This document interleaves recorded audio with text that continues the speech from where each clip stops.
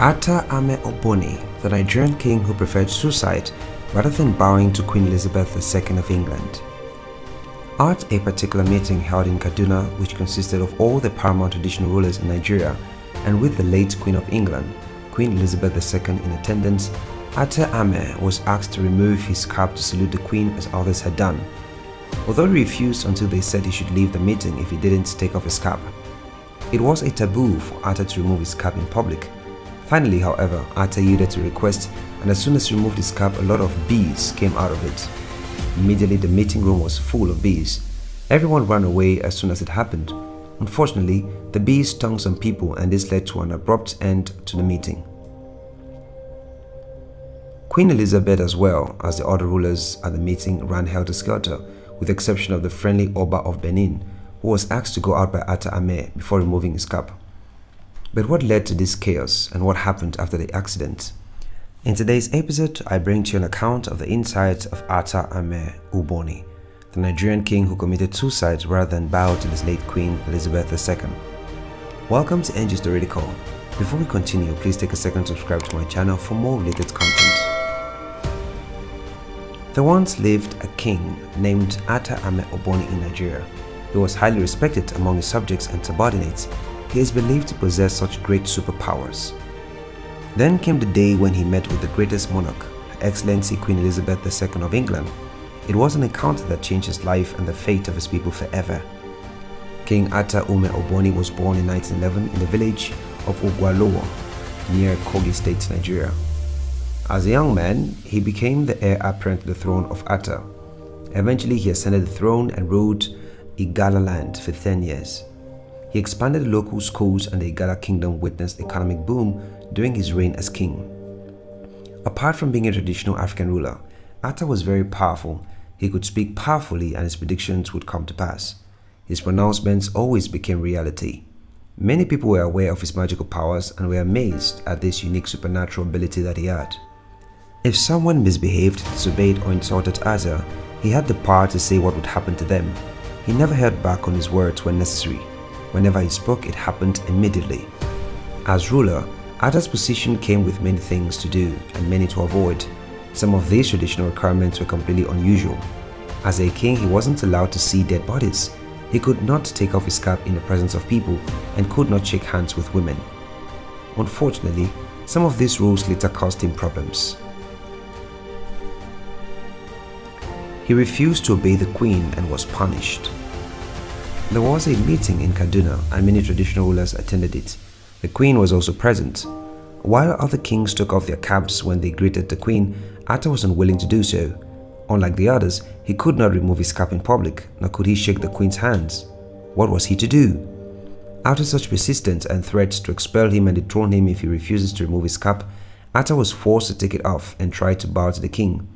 He had a lot at stake and any dethronement would deter his descendants from ascending to the throne. He is seen by his people as a mini-god and bowing to a human seems like an insult. Atta yielded to the demand and as soon as he removed his cap, a lot of bees came out of it.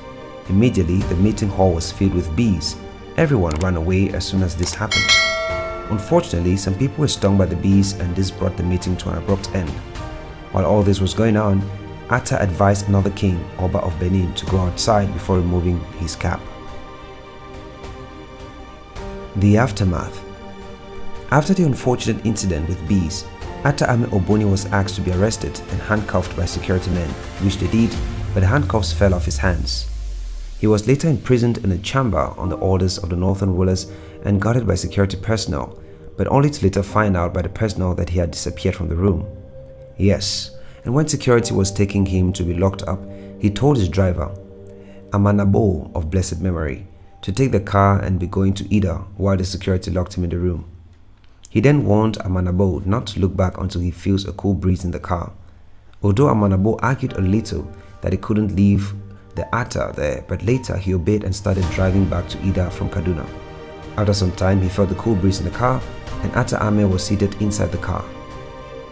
The incident in the meeting made many of the traditional rulers, who were mostly northerners, to be angry especially making kings run in such a manner because of the bees and the unusual manner in which the meeting ended. Queen Elizabeth was not happy either, and they, the Queen and the Northern chiefs, started looking for a way to remove Atta Ame from the throne since he was getting tougher and uncontrollable like others, as well as searching for an obedient replacement. Igala has many cultural festivals, one of which is the Ocho. The Ocho is celebrated before farming begins, which is a time when Atta Igala prays to God for sufficient rainfall, abundant harvest, success in hunting. It is celebrated in the bush, and the venue is called the Ere Ocho, where the Atta will hunt until he kills a buffalo or a strong animal. The community in Ida, where Ocho takes place, is called the Ogo Efa. He performs a little sacrifice to the ancestors by using a fowl in the process, and this was to find out if there will be blessings or troubles in the land after the Ocho. Before this time, the enemies back at home among the Igala people, especially those who had connections with the northern regional leaders, were working hard to get any evidence, either true or false, which can be used to dethrone him. The animal blood used as sacrifice at Ocho ground now became what the enemies would use against him.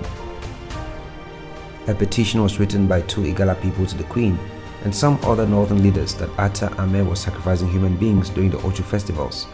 Since they were looking for any means to remove him, judgment was swiftly passed that he must be dethroned, even when investigations were not yet concluded. In addition, all Igala cultural festivals, including the Ocho, were immediately banned, and this remained for about 63 years until Governor Yahaya Bello overturned the ban on the appeal of the present Ata Igala. Already before this time, the Oba of Benin, who had such a friction with the British, had already been dethroned and exiled from Benin. So Atta Ame Oboni knew that at that point, no matter what spiritual approach applied, it could only postpone the evil day as his enemies would never relent until he was removed by them. The results of a blood sample which was taken from the Ocho venue and taken to the University of Ibadan for analysis had arrived and it was found to be animal blood, not the blood of a human.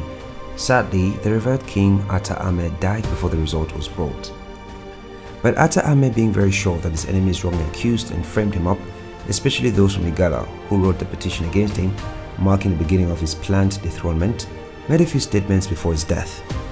He is alleged to have said that the person who wrote the petition against him would have that hand dried up and that the leader of the gang or petitioners would be buried three times, and they all came to pass. While the hand dried up as was said, the other was buried, as stated, the first was a leg, second being his hand, and third was himself, all buried at various times at different locations. In addition, as this information about his dethronement was given to him at a meeting from where he was supposed to go back to Ida and prepared to leave the throne, he stopped on his way in another land of Igala called Dekina. This was where he committed suicide. Before taking his own life, he is allegedly quoted to have said that the town Dekina will be popular but its development will not be as much as its popularity.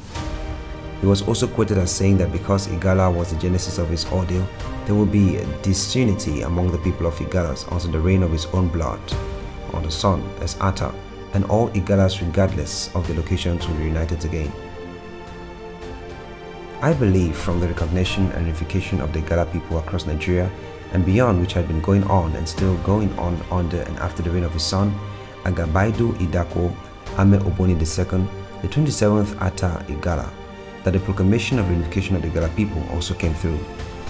Atta Idako Ame took reign on the 10th of March 2013 before joining his ancestors on 27th of August 2020, after which a new Atta Igala, Atta Matthew Opaluwa Akpa II, the 28th Atta Igala of the Igala Kingdom, was selected by the Igala Traditional Council on April 28, 2021, as ATA designated and confirmed on October 18, 2021 following an official approval by the Kogi State Executive Council in Lokoja, the state's capital about a year after Idako Ame's demise.